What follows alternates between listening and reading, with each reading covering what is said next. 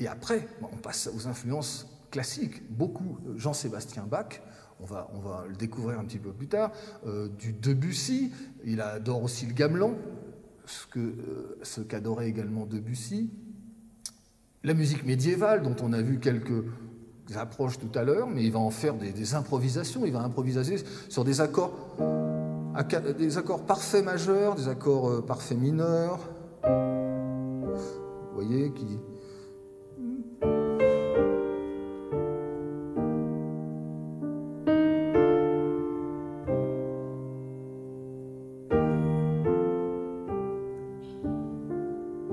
Ça, c'est la structure harmonique d'un choral élisabétain.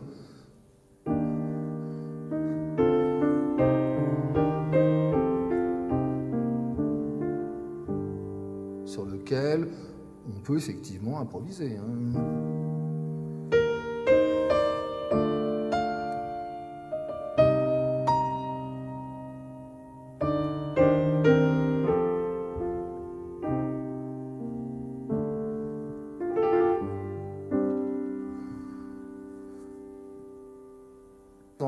Je vous ai joué les accords.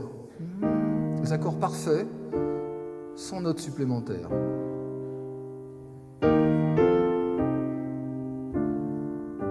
Dans le deuxième cas, j'ai joué des notes de passage qui se promènent et qui sont le choral élisabétain.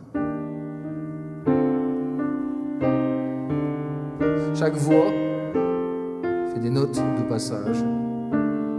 Là, on est, une, une, polyphonie déjà améliorée. Et dans le troisième exemple, en jouant ces notes, j'ai rajouté un chorus, une improvisation sur la partie haute.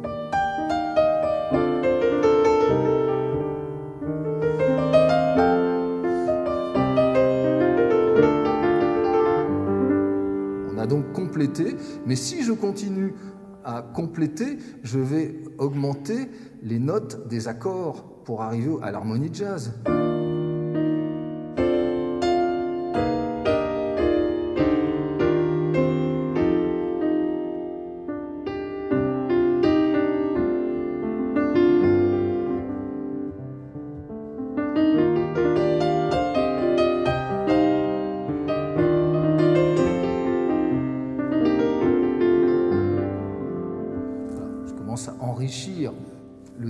Je commence à enrichir les accords avec ce qu'on appelle des, euh, des onzièmes, des, neuvièmes, des onzièmes, des treizièmes, toujours par rapport à la note du bas. 1, 2, 3, 4, 5, 6, 7, 8, 9, 10, 11, 12, 13. J'obtiens un accord de Fa majeur sur un accord de Mi bémol. C'est un Ré. Là, c'est ça, la structure des accords de jazz. Et la structure de l'harmonie également de, Maurice Ravel, Claude Debussy et de tout le début du XXe siècle. Aussi, euh, qui j'arrête en enrichissant euh, l'univers médiéval et baroque euh, dans des improvisations, on peut parler presque de temps lisse, c'est-à-dire qu'on n'a plus de rythmique là.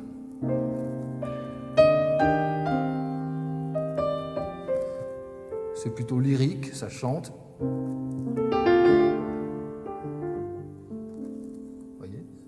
On n'a pas un tempo, quelque chose d'irrégulier, où on dit un temps strié. C'est un temps lisse, avec un enrichissement harmonique. Ça, c'est une des spécialités. Une autre aussi, pendant une époque, il a écouté Paul Blais. Paul Blais, c'est un jeune pianiste qui habitait au départ à Montréal, qui a remplacé Oscar euh, Peterson quand Oscar est parti à New York. Il l'a remplacé euh, euh, dans un club, l'Alberta Lounge à Montréal. Et ce qu'a pris, qui j'arrête de ce style, c'est presque des phrases inachevées, un style un peu trouvé comme ça. On va suggérer la phrase. On s'arrête, on laisse l'écho répondre.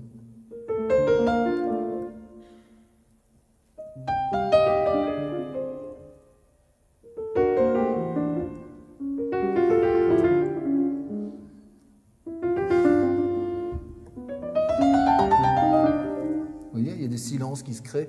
Et ça, c'est très, beau comme idée. L'idée de Paul Blake a emmené encore une fois plus loin, parce que c'est toujours l'histoire des, créateurs et des artistes. Hein. On prend des choses, on les emprunte et on les emmène un peu plus loin, et on les laisse là, quelqu'un d'autre va venir et les prendre et les emmener encore plus loin. L'histoire où on, créerait de rien du tout ex nihilo euh, ou from scratch, comme on dit en informatique, euh, n'existe pas. Quoi. On prend des choses et on les emmène.